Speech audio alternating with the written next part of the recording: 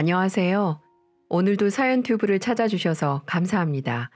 오늘의 사연 시작하겠습니다. 안녕하세요. 저마다 아픈 상처가 있기 마련이고 말 못할 사정이 있겠죠. 제게도 역시 너무나 가슴 아픈 사연이 있는데요. 오랫동안 제 가슴 속에 묻어만 두었다가 이젠 여러분들에게 풀어놓으려고 합니다. 그렇게 하면 덧나고 또 덧난 제 마음속 상처가 조금은 치유가 될 수 있을지 모르겠다는 생각이 들어 이렇게 사연을 보내게 되었습니다. 저와 나이가 비슷한 연배인 어머님, 아버님들은 제 글에 많은 공감을 하실 것 같아요. 옛말에 자식 새끼들 키워봤자 아무 소용없다 라는 말이 있잖아요. 저는 정말 이 말이 남들 얘기인 줄만 알았습니다. 하지만 평생 힘들게 키워온 하나밖에 없는 아들에게 제대로 뒤통수를 맞으면서 하루하루가 지옥 같고 괴롭기만 합니다. 이런 상황에서 여러분들은 어떤 결정을 내리실지 참으로 궁금하기만 하네요. 저는 그때 그 시절 스물 둘이면 지금 생각해도 너무나 꽃다운 나이죠. 그렇게 아무것도 모르는 어린 나이에 투박하지만 성실한 남편을 만나 서울 외곽에 신접살림을 차렸습니다. 당시에는 가난하지 않는 사람을 찾기가 힘들 정도로 참 어려운 시기였어요. 그래서 좀도둑도 많았고 사람 사이에 정도 많았죠. 남편은 볼펜 공장에서 하루 종일 일을 하면서도 일요일마다 한강 백사장에 나가 음료수를 팔았습니다. 참 찢어지게도 가난했지만 남편은 처자식을 먹여 살리기 위해서 정말 부지런하게 살았어요. 아들에겐 이 가난을 물려주고 싶지 않다면서 8살짜리 어린 아들한테 공부를 열심히 해야 한다는 말을 늘 입버릇처럼 했습니다. 철영아, 넌 꼭 아빠처럼 되지 말고 훌륭한 사람이 돼야 한다. 그러려면 첫째도 공부, 둘째도 공부야. 잘 알겠지? 남편이 하도 세뇌를 해선지 아이는 꼭 훌륭한 의사가 돼서 엄마 아빠 호강시켜 주겠다며 참으로 공부를 열심히 하더군요. 믿겨지시나요? 8살짜리가 친구들은 밖에서 소꿉장난하고 놀 때 우리 아들은 책상 앞에 앉아 공부했다는 사실을요. 아들은 꼬물거리는 손으로 숫자나 낱말을 열심히 익혔고 남편은 그런 아들을 흐뭇하게 바라보곤 했습니다. 여보, 우리 철영이 좀 봐. 이 녀석이 벌써 한글로 제 이름을 쓰잖아. 당신도 참, 그게 그렇게도 좋아요? 그럼 당연히 좋지. 우리 철영이는 분명 씩씩하고 똑똑한 어른이 될 거야. 틀림없어. 맞아요. 우리 철영이는 분명 훌륭한 사람이 될 거예요. 하지만 남편은 그 빨리 지나간다던 시간도 누려보지 못하고 세상을 뜨고 말았죠. 여느 때처럼 공장에서 열심히 일을 하던 남편은 심장마비로 쓰러져 버렸고 눈 한 번 뜨지 못하고 그 길로 저승길로 떠나고 말았습니다. 남편을 그렇게 허망하게 떠나보내고 난 뒤 저는 슬픔보다는 앞으로 살 길이 더 막막했어요. 그때 제 나이가 정확히 서른이었거든요. 나이 서른에 과부가 되니 참 힘들 일들이 많았습니다. 젊은 나이에 혼자가 되니 동네 양아치들이 찝적대는 사람들도 많았고 돈 많은 노인네가 한 달에 얼마 줄 테니 자기한테 시집 오라고 유혹하는 사람도 있었어요. 세상에 정말 별별 미친놈들이 많더라고요. 하지만 전 모든 제안을 거부하고 우리 아들 하나만 바라보고 살기로 결심했습니다. 저만큼 아들이 받은 상처도 컸을 테니까요.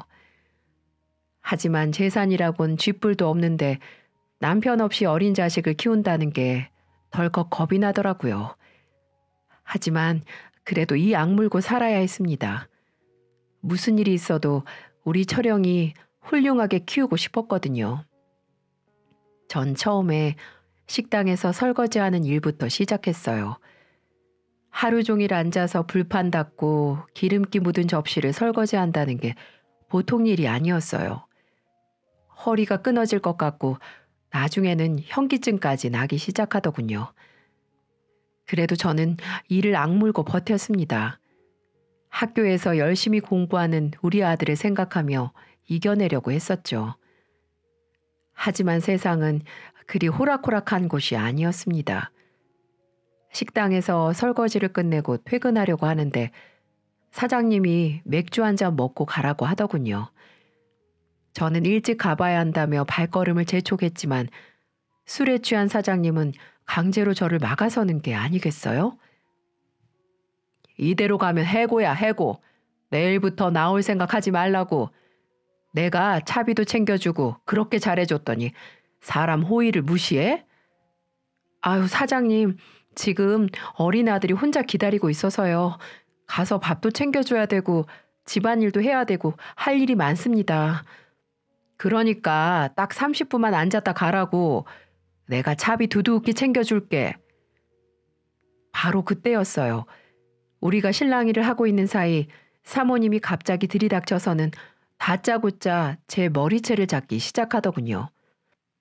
저는 이유도 없이 한동안 머리채 잡히고 질질 끌려다녀야만 했습니다. 알고 보니 사모님이 오해를 하신 거였어요. 저를 여우라고 생각했었나 보더라고요. 사장꼬시는 꼬리 달린 여우 말입니다. 너무 억울했어요. 사장님이 평소에 잘해주셔서 저는 그에 맞게 응답했을 뿐이었는데 평소에 지켜보던 사모님은 색안경을 끼고 저를 보셨나 보더라고요. 결국 나중에 사과를 받긴 했지만 차마 그 식당에서는 일을 못하겠더군요. 그 이후 전 건물 청소, 명함 돌리기, 우유 배달, 나중에는 파출부 일까지 하게 되었죠. 주위에서는 아직 젊으니 좋은 남자 만나 재혼하라고 말했지만 제게는 오직 돈이 목표였어요. 아들을 의대 보내려면 많은 돈이 필요한 게 분명한 사실이었으니까요. 그렇게 남편 없이 아이를 키우며 살아가는 일은 정말 쉽지 않은 일이었지만 일찍 철이 들어버린 아들은 항상 제가 일을 다녀오면 등 마사지도 해주고 발도 주물러 주면서 엄마, 내가 나중에 돌아가신 아버지 노릇까지 다 할게요. 그러니 지금 힘들더라도 조금만 버텨주세요. 제가 꼭 엄마 호강이 아니라 대한민국 최고의 엄마로 만들어 드릴게요. 이렇게 말을 하며 제게 큰 힘이 되어 주었죠. 아들이 그렇게 말을 하는데 힘을 내지 않는 어미가 세상 천지 어디 있겠습니까? 제게는 하나밖에 없는 아들이자 이제는 저의 유일한 버팀목이었습니다. 그런 고달픈 시간도 다 지나가는 겁니다.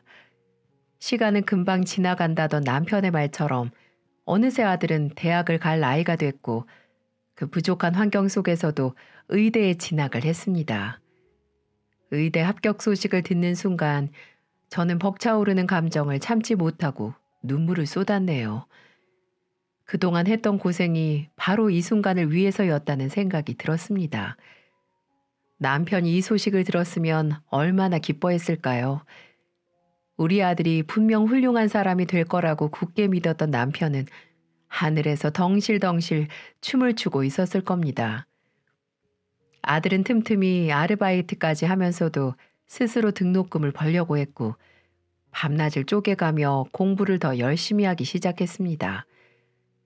저는 아들이 다른 친구들처럼 연애도 좀 하고 취미 생활도 하기 바랬지만 아들은 그런 건 자기에겐 사치라면서 남들 놀 때 더 열심히 해야 원하는 걸 이룰 수 있다면서 부단히도 노력을 했었죠.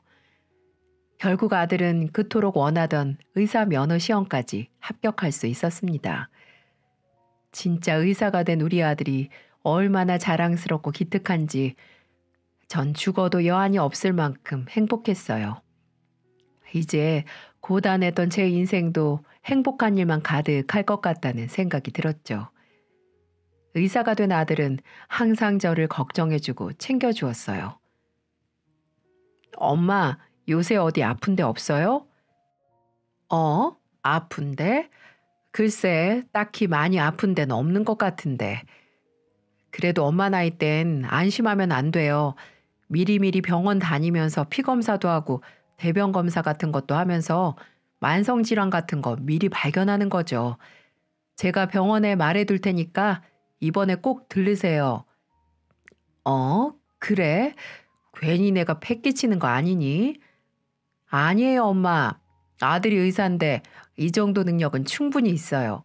그러니까 걱정 말고 오세요. 전 이렇게 아들 덕분에 이런저런 검사를 받으며 병을 관리할 수 있었죠.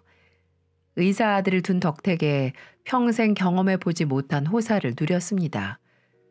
어디 그뿐입니까? 의사가 된 아들은 수입도 넉넉해졌고요. 자신이 생활비도 되고 엄마 용돈도 드릴 테니까 일을 그만두라고 성화였습니다. 의사 아들을 둔 엄마가 고생하면 남들이 다 욕한다면서 말이죠.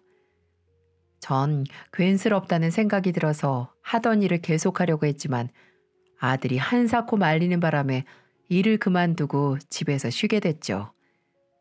아들은 꼬박꼬박 돈을 가져다 주면서 이제 엄마 하고 싶은 거 다 하면서 살라고 하더군요. 그 말 한마디가 지난 고달픈 제 인생을 위로해 주는 것 같아서 눈물이 절로 나오더라고요. 남편 생각도 참 많이 났습니다. 우리 아들이 틀림없이 훌륭한 사람이 될 거라고 믿었던 남편이었는데 흰 가운을 입은 아들 모습을 봤으면 정말 좋아했을 겁니다. 이제 고생은 다 끝났다고 생각을 했습니다. 성공한 효자 아들이 든든하게 절 지켜주고 있었으니까요. 남은 바람이 있다면 우리 아들이 좋은 여자를 만나 가정도 꾸리고 애도 키우면서 사는 걸 보는 것 뿐이었죠. 그런 제 희망과는 다르게 아들은 여자에는 도통 관심이 없어 보였습니다. 의사가 된 아들을 둔 엄마에게 얼마나 많은 중매가 들어왔겠어요? 심지어는 제가 살던 주인집에서도 우리 아들이 마음에 쏙 든다며 제 조카와 만나보게 하자고 절 귀찮게 할 정도였으니까요. 하지만 제가 아무리 아들을 떠봐도 아들은 고개를 내저었어요. 엄마, 나 아직 결혼할 생각 없어요. 병원에서 일도 더 배워야 하고 돈 많이 벌어서 그냥 엄마랑 행복하게 살래요. 그게 무슨 소리야? 엄마는 살 날도 얼마 안 남았는데 나도 손주 며느리 봐야 하지 않겠니? 그러니까 엄마가 건강하게 오래오래 사시면 되잖아요. 엄마랑 평생 같이 산다는 아들의 그 말이 그리 나쁘게 들리진 않더라고요. 박복한 팔자인 줄로만 알았는데 이렇게 아들 덕을 보면서 살려고 그런 고생을 했나 봅니다. 그렇게 몇 년의 시간이 훌쩍 지났고 아들은 실력 있는 외과 선생님으로 자리를 잡았죠. 그런 아들 덕택에 살림도 넉넉해져서 예전 고생했던 시절과는 비교할 수도 없을 정도로 편하게 살았습니다. 그런 아들이 어느 날 제게 이런 말을 하는 겁니다. 엄마, 저 결혼하는 거 보고 싶다고 하셨죠? 그럼 이제 우리 훌륭한 의사 선생님이 좋은 여자 만나서 결혼하는 모습 보는 게 엄마 소원이지. 그래서 제가 엄마 소원 이뤄드리려고요. 어? 그 말이 정말이니? 너 혹시 만나는 아가씨가 있는 거야? 네, 사실은 얼마 전에 우연히 만난 여자가 있는데요. 사람이 너무 괜찮아요. 이런 친구라면 결혼을 해도 괜찮을 것 같다는 생각이 들어서요. 아유, 그래, 잘 됐구나. 잘 됐어. 그래야지, 암. 근데 어떤 아가씨니? 우리 아들 결혼할 결심을 하게 만든 아가씨가 누군지 너무 궁금하구나. 그렇지 않아도 이번에 인사 한번 시켜드리려고 자리를 마련했어요. 아, 분명 엄마도 보면 좋아하실 거예요. 두말하면 잔소리지. 우리 아들이 어련히 좋은 아가씨 쓰려고. 우리 철영이가 결혼을 한다니까 이 엄마가 너무 좋다.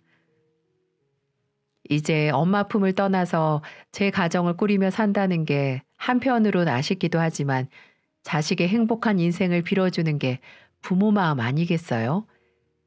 전 연애에는 도통 관심이 없는 아들이 결혼을 결심했다는 소식에 진심으로 기뻤습니다. 그리고 아들이 데리고 온 아가씨를 처음으로 만나게 되었죠. 안녕하세요. 처음 뵙겠습니다. 이은이라고 해요. 반가워요. 전 철영이 엄마 되는 사람입니다. 네, 오빠한테 이야기 많이 들었어요. 어머, 어머니 그런데 나이답지 않게 참 고우시다. 그래요? 그렇게 말해주니 고맙네요. 진짜예요, 어머니. 아, 그리고 말씀 편하게 하세요. 어차피 며느리 될 사람인데 너무 존대하고 그러면 제가 불편해요. 그래요, 그럼 편하게 할게요. 뭐랄까요? 아들이 데리고 온 아가씨는 제 생각과는 매우 먼 타입이었어요. 저도 모르게 여성스럽고 조신한 며느리감을 상상했었나 봅니다. 하지만 그 아가씨는 얼굴은 조망만한 게 예쁘장하긴 한데 짧은 치마에 입담도 거침이 없는 좀 가벼운 사람처럼 보이더라고요. 그렇지만 그 자리에서 당장 싫은 내색은 할 수 없으니까 가만히 지켜보고 있었죠. 식사 자리가 무르익으면서 이런저런 얘기를 나눠봤는데 대화를 하면 할수록 영 제 마음에 들지 않더라고요. 어머니, 아시다시피 오빠가 영 쑥맥이잖아요. 공부만 할 줄 알았지 아는 게 하나도 없어요. 저처럼 똑 부러진 여자친구 만난 게 오빠한테 얼마나 행운인데요. 호박이 넝굴째 굴러온 거나 다름없다니까요. 어? 그런가? 그럼요. 제가 어렸을 때부터 이런저런 경험을 많이 해봤는데요.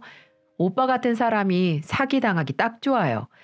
그러니까 저처럼 야무진 사람이랑 만나야 손해 안 보면서 살죠. 그래. 그럼 은희는 지금 무슨 일을 하지? 저요? 저 탤런트예요. 탤런트. 어머닌 잘 모르시겠지만 연속극에 단역으로 좀 나왔고요. 연극 무대도 좀 섰고요. 아, 그래? 뭐 그러고 보니까 어디선가 본 것 같기도 하고. 알고 보니 예비 며느리는 유명한 탤런트는 아니고 거의 무명에 가까운 여자였습니다. 그러니 알아보는 사람보다 몰라보는 사람이 많았죠. 하지만 외모는 여자인 제가 봐도 얼굴은 참 예쁘게 생겼더라고요. 아마 아들 녀석은 그런 외모에 홀딱 반해버리고 만 것 같더라고요.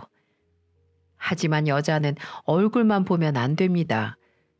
그 사람의 마음씨나 성품을 눈여겨봐야 하는 거죠. 하지만 아들이 제 며느리라고 데리고 온 아가씨는 그런 면에선 거의 빵점이나 다름 없었습니다. 첫 만남부터 예의에 어긋난 복장이며 말버릇 그리고 예비 시어머니를 만나는 자리에 집중하지 못하고 부산을 떨어대는 모습도 그랬고요. 본인이 탤런트라는 걸 뽐내며 마치 제 아들을 만나주는 게 큰 선심이라도 쓰는 것처럼 말하는 것도 마음에 들지 않았습니다.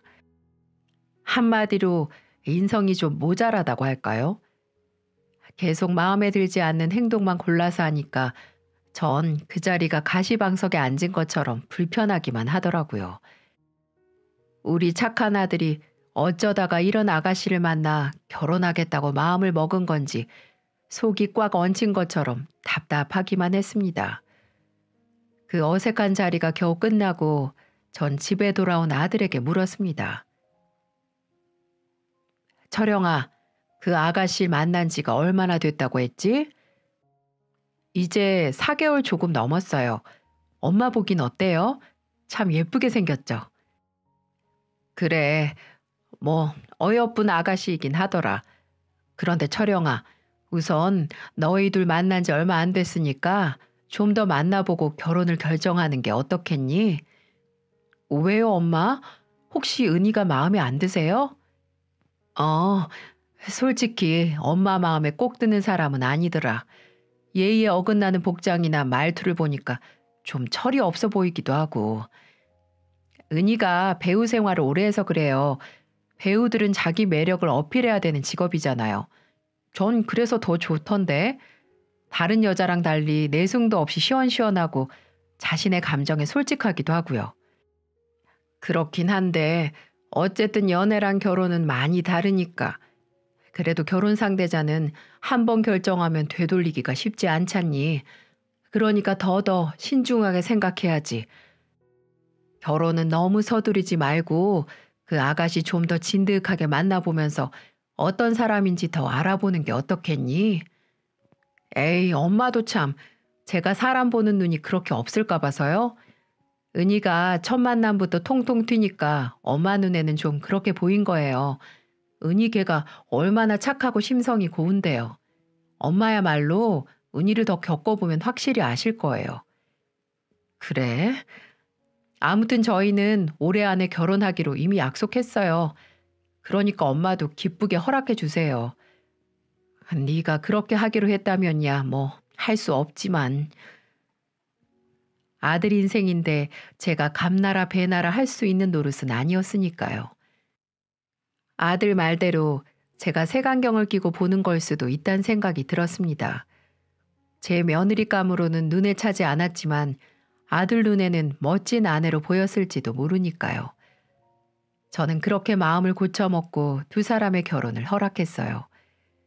그렇게 그해 가을 아들은 결혼을 했고 저는 아들의 새로운 인생이 무탈 없이 행복하기만을 빌고 또 빌었습니다. 처음에 두 사람은 잘 사는 것처럼 보였어요. 아들에게 찰싹 달라붙어서 애교도 부리는 며느리가 한편으로는 어여쁘게도 보였고요. 그리고 제게도 어머니, 어머니 하면서 살갑게 잘 했습니다. 어머니, 저희 왔어요. 그래, 은희 왔니? 네. 그런데 어머니 파마하실 때가 된 것 같은데요. 머리가 너무 많이 풀렸네. 그러니? 네, 그렇다니까요. 이따가 저랑 같이 미용실 갔다 와요. 요새 제가 예쁘다고 생각한 머리가 있는데 어머니한테 아주 딱 잘 어울릴 것 같아요. 그래? 그럼 그래 볼까? 제잘거리는 산새처럼 성격이 밝고 발랄해서 아들 하나밖에 없던 제게 막내딸이 생긴 것 같은 기분도 들었고요. 살림 솜씨는 좀 서툴었지만 이것저것 배우려는 모습이 예쁘게 보였죠. 괜히 며느리를 오해했다는 생각에 조금 부끄럽기도 했습니다. 게다가 며느리는 제게 귀한 손자까지 안겨준 복덩이였습니다. 어머니, 어머니한테 드릴 선물이 있어요. 선물? 오늘 무슨 날도 아닌데 웬 선물이니? 어머니 곧 손주 보실 수 있을 것 같아요. 뭐? 은희 너 아이 가졌니? 네, 어머니 병원에서 확인했는데요. 저 임신했대요. 아이고, 그랬구나. 정말 고맙다, 은희야. 고마워. 에이, 고맙긴요. 이게 다 어머니가 제게 사랑을 듬뿍 주신 덕분이죠. 며느리가 행동이 좀 가볍고 여우 같은 면이 없진 않았지만 그래도 제 남편 좋아하고 제게 모나게 굴지 않는 게 다행이라고 생각했어요. 하긴 어떤 며느리가 와도 완벽할 수 있겠습니까? 전 두 사람이 다투지 않고 아이를 키우면서 단란하게 살면 된 거라고 생각했습니다. 그렇지만 며느리와의 갈등은 손자가 세상 밖으로 나오면서부터 시작됐습니다. 아무리 바빠도 혼자 계신 어머니가 신경 쓰인다며 자주 찾아오고 연락도 자주 했던 애들이었습니다. 그런 애들이 점점 제게 소홀해지는 것이 느껴졌죠. 물론 아이가 생겼으니까 이해 못할 일은 아니었습니다. 시어머니가 돼서 그 정도도 헤아리지 못하는 건 아니었으니까요. 그런데 그 정도가 너무 지나치다는 생각이 자꾸 드는 겁니다. 어쩌다 제가 찾아가도 반가운 기색 없이 냉랭하기만 하고요. 처음에 보였던 며느리의 살가움이 조금도 보이지가 않더라고요. 기다리다 못해 전화라도 한 통하면 수화기를 통해서 찬바람이 쌩쌩 불어오기 일쑤였어요. 은희야, 요새 어떻게 지내고 있니? 네, 잘 지내고 있어요. 그래, 우리 며느리랑 손자 생각이 궁금해서 연락 한번 해봤다. 네, 별일 없지? 네, 별일 없어요. 언제 한번 넘어오지 않을래? 애 데리고 가기가 힘들어서요. 나중에 봬요. 응, 그래. 그러자꾸나. 출산 우울증이라도 있는 건지 며느리가 차갑게 구니까 여간 신경이 쓰이는 게 아니더라고요. 며느리만 그러면 좀 더 낫죠. 엄마 일이라면 발벗고 나서던 아들 녀석까지 연락이 뜸해지니까 제 마음이 헛헛해지는 겁니다. 그래도 명절이나 생일에는 꼭 찾아왔었거든요. 그런데 어느 날부터 이 핑계 저 핑계 대면서 절 찾는 날도 드물어지는 겁니다. 아무리 애 낳고 산다지만 좀 너무하다는 생각이 들었어요. 특히 아들 녀석에게는 서운한 마음이 더 짙었죠. 언젠 엄마랑 평생 같이 산다고 호언하더니만 제 마누라 새끼 생겼다고 이 애미는 거들떠도 안 보니까요. 아무리 좋게 생각해 보려고 해도 서러움이 북받쳐 오르는 건 어쩔 수가 없었습니다. 철영아, 엄마다. 요새 무슨 일 있나 싶어서 전화 한 번 했어. 네가 하도 연락이 없으니까 궁금해서. 아, 그랬어요. 요새 병원 일이 너무 바빠서요. 언제 한번 내려갈게요. 엄마, 나 좀 바빠서 통화 오래 못해요. 어? 아, 그래, 알았다. 꼭 한번 내려와라. 네, 끊어요. 매번 이런 식이었어요. 그러다 보니 이제 아들 내외 얼굴 보기가 1년에 한두 번 보는 것도 쉽지가 않더라고요. 그렇게 원하던 며느리 손자 다 봤는데 이렇게 말년을 쓸쓸하게 보내다 갈 것만 같아서 마음이 무거웠습니다. 그러던 어느 날이었어요. 명절이 다가오자 모처럼 아들 내외를 볼 수 있다는 생각에 제 기분은 들떠 있었죠. 그런데 아들한테서 뜻밖의 오지 못하겠다는 연락이 오더라고요. 엄마, 죄송한데 이번에는 못 내려갈 것 같아서요. 아니, 왜? 명절에 겨우 아들 얼굴 한 번 보는데 왜 못 내려와? 이번 명절에 장인 장모님 모시고 제주도 한번 내려가기로 했어요. 그러다 보니까 일정이 영 빡빡해서 이번에 못 내려가고 다음에 시간 한번 내서 따로 내려갈게요. 뭐? 그러니까 사돈 어른 모시고 여행 가서 못 오겠다는 거니? 네, 장인어른 칠순 겸해서 여행 한번 다녀오기로 했어요. 이번에는 엄마가 한 번만 이해해 주세요. 네? 아들 입에서 나온 말이라곤 믿기지가 않더라고요. 바깥 사돈 칠수는 아직 한참이나 남았는데 굳이 명절 연휴를 껴서 여행을 간다는 게 납득이 되지 않았고요. 언제부턴가 찬밥 신세로 전락한 제 처지가 참 불쌍하게 생각되더군요. 그런 마음이 드니까 며느리한테 한마디 해야겠다는 생각이 들었습니다. 네, 어머니, 무슨 일이세요? 은인이? 너 이번 명절에 못 올라온다고 하던데 진짜 올라오지 못하는 거야? 오빠한테 말씀 못 들으셨어요? 이번에 저희 부모님 모시고 제주도 한번 다녀오려고요. 그동안 번듯한 여행 한번 못 보내드려서요. 그래, 그건 알겠는데 나도 좀 서운한 마음이 드는구나. 네? 어머니가 왜요? 왜라니? 나도 이번 명절에 너희 얼굴도 보고 귀여운 손자 재롱도 보려고 기대를 하고 있었는데 말이다. 명절 아니면 너희도 잘 내려오지도 않잖니. 사돈 어른들 모시고 여행 가는 건 좋은데 혹시 다른 날로 바꾸면 안 되겠어? 나도 니들 얼굴 본 지가 1년도 다 돼가는구나. 안 돼요. 이미 비행기 표랑 호텔도 다 예약해서 바꿀 수가 없어요. 그리고 왜 그리 속이 좁으세요, 어머니? 무슨 애도 아니고요. 우리가 알아서 찾아뵐 거니까 이런 걸로 귀찮게 하지 마세요. 안 그래도 애 때문에 힘들게 육아 전쟁하고 있는데 어머니까지 왜 그러세요? 뭐? 너 말이 너무 심한 거 아니니? 어머니는 계속 했던 말 반복하게 만드니까 그러는 거죠. 저 바쁘니까 끊을게요. 들어가세요. 뭐? 아, 아니, 은희야. 며느리가 매정하게 전화를 끊어버리는데 속이 상해서 죽는 줄 알았습니다.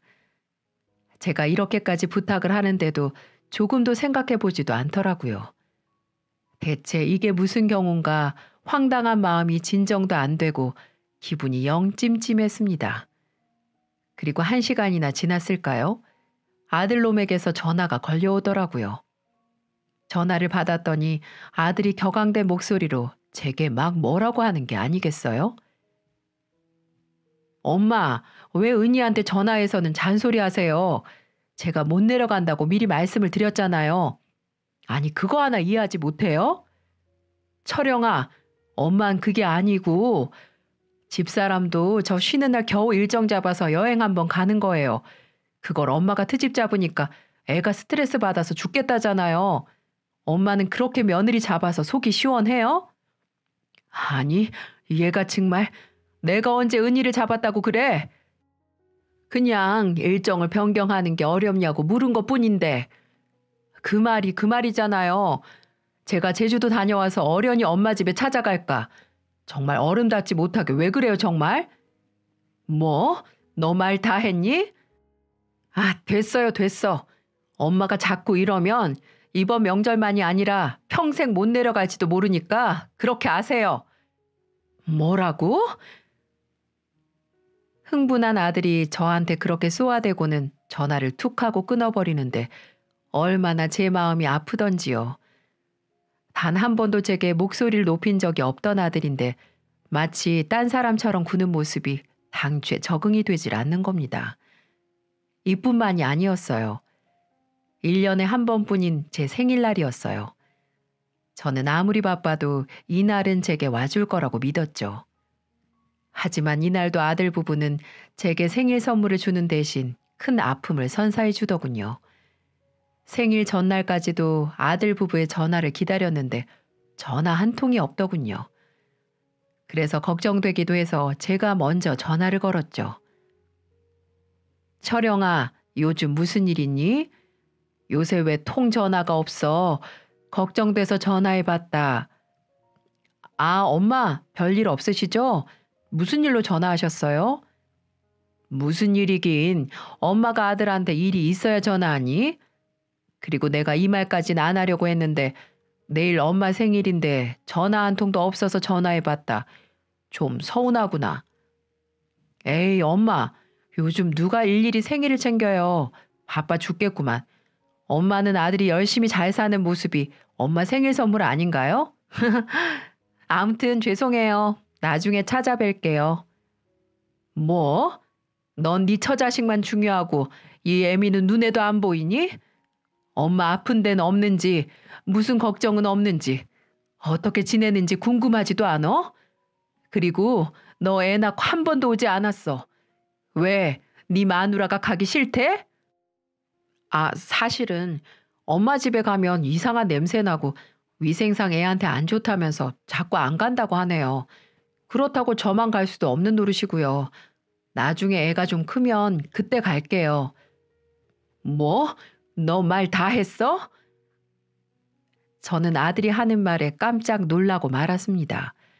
다른 이유도 아니고 냄새나고 더럽다고 저를 찾아오지 않는다니요. 제 집 주변에 공장이 있어서 냄새가 날 수 있다는 건 인정합니다. 그렇다고 안 온다는 게 말이 되는 소린가요?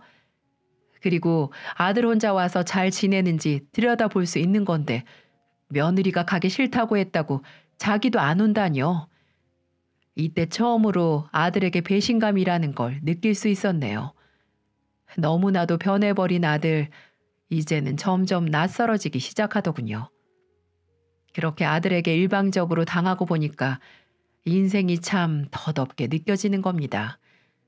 차라리 이 모습을 보지 못한 남편이 다행이란 생각이 들 정도였어요.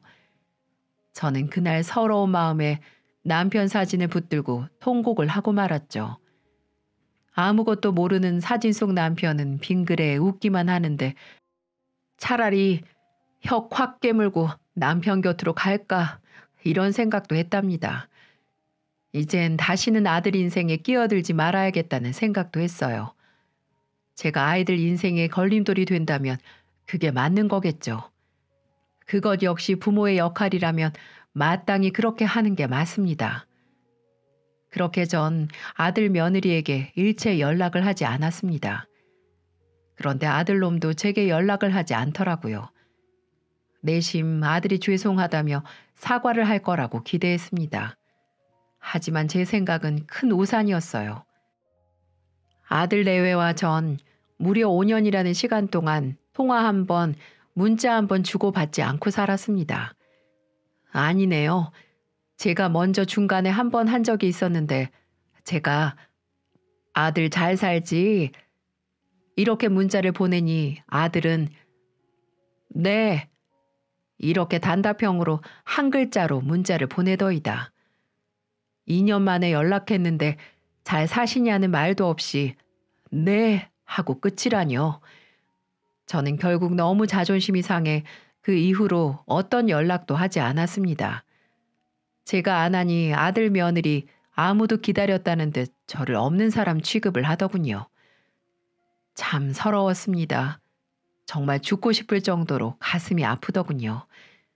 마시지도 못하는 막걸리를 마시며 얼마나 울었는지 몰라요. 얼마나 가슴을 부여잡고 서럽게 울었는지 모릅니다. 나중에 알고 보니까 아들이 왜 제게 연락을 안 한 줄 아시나요? 바로 그 탤런트했다던 며느리 때문이었습니다. 제가 애들 신혼 초에 며느리한테 했던 잔소리가 마음에 담고 있었나 보더라고요.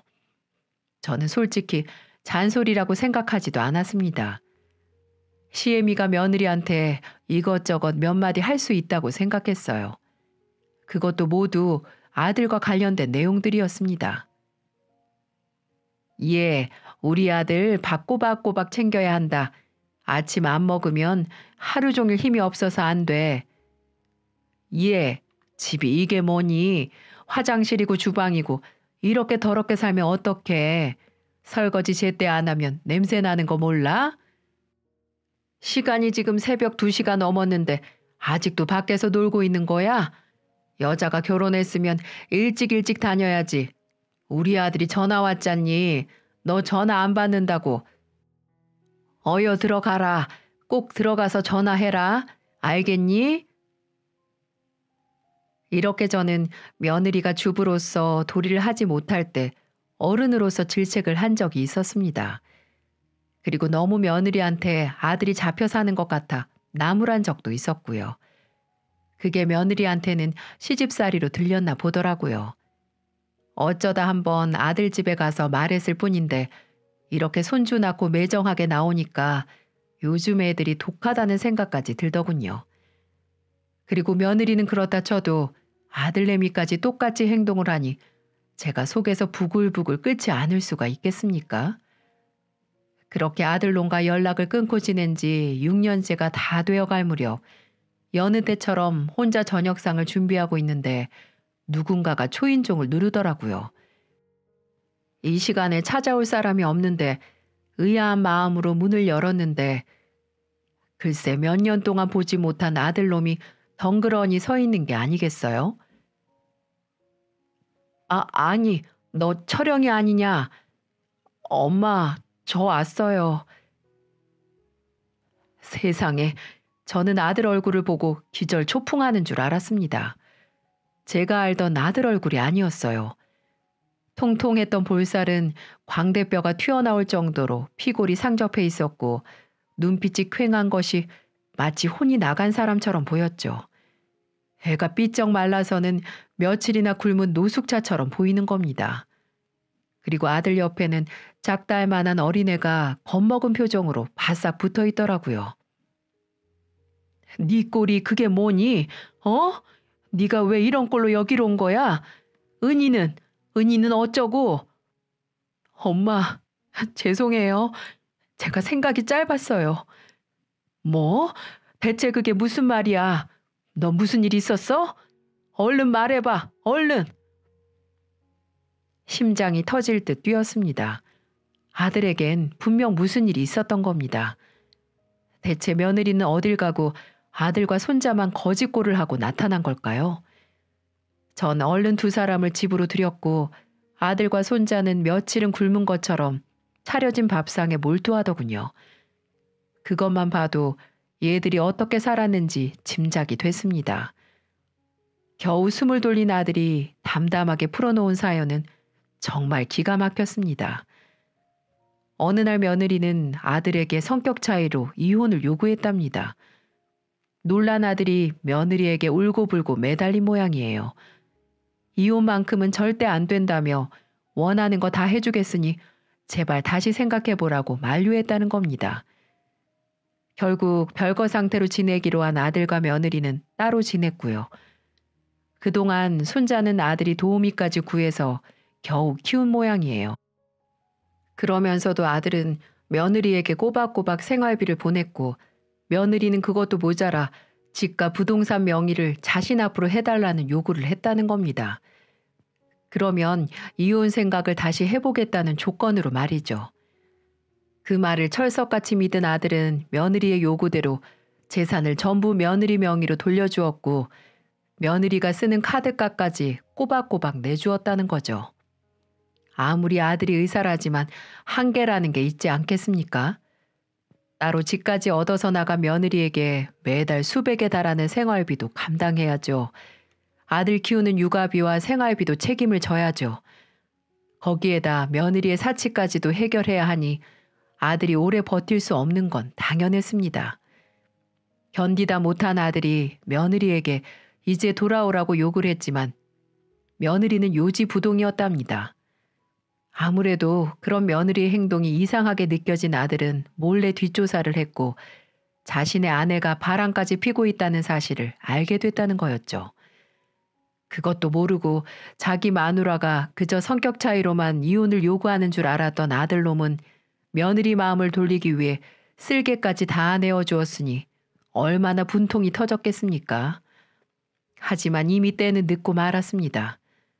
아들이 며느리를 찾아 따지려고 했을 땐 이미 며느리는 자취를 감추고만 뒤였답니다. 며느리 앞으로 돌려줬던 모든 재산도 이미 처분한 뒤였고요. 아들 수중에는 빚만 잔뜩 남은 상태였고 아들은 그 충격에 의사 생활도 잠시 접고 거의 폐인처럼 살다시피 했다는 겁니다. 손자하고 극단적인 선택까지 하려고 했다고 말하더군요. 그러면서 제 앞에서 피눈물을 흘리는데 얼마나 답답하던지요. 당장이라도 며느리 그년을 찾아서 요절을 내주고 싶었지만 제가 뒤늦게 그렇게 한들 무슨 소용이 있겠습니까? 알고 보니 아들이 지금껏 제게 모질게 했던 거는 다 며느리가 조정을 했던 거였습니다. 지금껏 의사가 되기 위해 연애 한 번 제대로 못하고 공부만 했었던 아들은 여자 하나 잘못 만나 결국 폐가 망신하고 만 거였어요. 괜히 탤런트 연기자겠습니까? 아무리 무명에 가깝다고 해도 우리 일반인들보다 연기를 훨씬 잘하지 않겠습니까? 며느리는 아들에게 여우짓 같은 연기를 하며 아들을 구워 삶았고 그 늪에 빠져나오지 못하고 이 어미까지 배신하며 며느리에게 환장했던 걸로 보였어요. 솔직히 우리 아들이 인물이 잘난 편은 아닙니다. 처음부터 저렇게 예쁜 아가씨가 우리 아들하고 결혼한다고 했을 때 좀 의아하긴 했었어요. 그래서 저는 단번에 알아볼 수 있었죠. 며느리가 우리 아들의 조건, 배경 보고 결혼한다는 사실을요. 그래서 저는 그년을 탐탁지 않게 여겼었던 거였는데 우리 아들은 눈에 콩깍지가 씌어서 홀라당 넘어가고 만 거였습니다. 결국 며느리에게 제대로 뒤통수를 맞고 벼랑 끝에 몰린 아들이 찾아온 곳은 결국 저였던 거고요. 아들 말을 다 듣고 나니 속이 찢어지는 것처럼 아팠습니다. 대체 이 며느리녀는 사람을 이렇게까지 망가뜨릴 수 있는 걸까요? 당장 제가 경찰에 신고를 하자고 했는데 이미 아들이 신고를 한 뒤였더라고요. 경찰에서도 이 사건이 단순한 가정 불화에 가깝고 아들이 모든 명의도 다 바꿔주고 그래서 사기로 보기엔 애매하다고 했다는 겁니다. 그 말에도 일리가 있죠. 자기 손으로 모든 걸 해주었으니까요. 제 아들이지만 왜 이렇게 바보 같을까요? 아들은 공부만 잘하는 헛똑똑이었지 다른 것은 아무것도 모르는 바보 멍충이었네요. 사실 아직도 아들이 많이 밉습니다. 이 어미를 나몰라라 하고 저를 버린 거나 마찬가지였으니까요. 제가 이놈 하나 키우려고 어떻게 발버둥 쳤는데 말년에 제게 돌아온 건 냉대와 무시뿐이었습니다. 그래서 일단 우선은 같이 있고 싶지 않아 손주만 주고 나가라고 쫓아버렸네요.